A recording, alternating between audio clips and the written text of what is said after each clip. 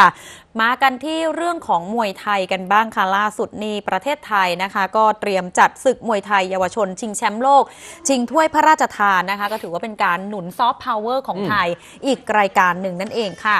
สหพันธ์สมาคมมวยไทยนานาชาติ หรือว่า IFMA นะคะ ร่วมกับสมาคมกีฬามวยไทย สมัครเล่นแห่งประเทศไทยในพระบรมราชูปถัมภ์และการกีฬาแห่งประเทศไทยแถลงข่าวการแข่งขันมหกรรมมวยไทยเฉลิมพระเกียรติ 72พรรษามหาราชา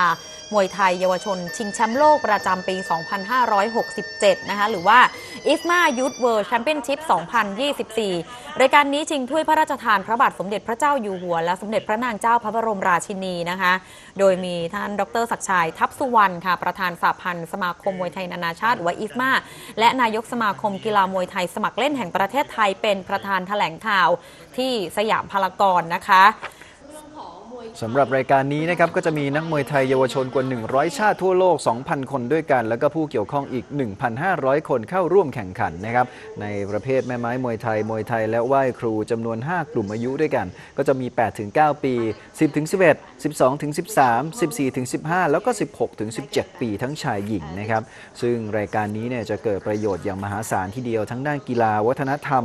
ผลักดันซอฟต์พาวเวอร์ของชาติควบคู่ไปกับเศรษฐกิจและการท่องเที่ยวครับคาดการณ์ว่าจะมีเงินหมุนเวียนช่วงการแข่งขันเนี่ยไม่น้อยกว่า 500 ล้านบาททีเดียวครับไปไกลแล้วก็สร้างชื่อเสียงให้กับขันครั้งนี้นะจะมีการถ่ายทอดไปทั่วโลกนะครับ โดยโสรีทาทัศน์ช่องเก้าและก็อีกประเด็นหนึ่งเนี่ยจะเป็นการประชาสัมพันธ์ให้ต่างชาติได้รู้ว่าประเทศไทยเรานะเป็นเจ้าภาพการแข่งขันครั้งนี้ และเป็น การแข่งขันที่มีความหมายมาก เพราะว่าจะเป็นส่วนหนึ่งของการที่ประชาสัมพันธ์เรื่องการที่จะผลักดันมวยไทยไปสู่การแข่งขันในระดับ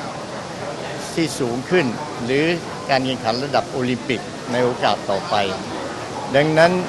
ก็ขอเชิญชวนทุกท่านนะครับ ที่สนใจเกี่ยวกับเรื่องของการกีฬามาชมกันได้นะครับ ตั้งแต่วันที่ 12 ไปจนถึงวันที่ 19 เดือนนี้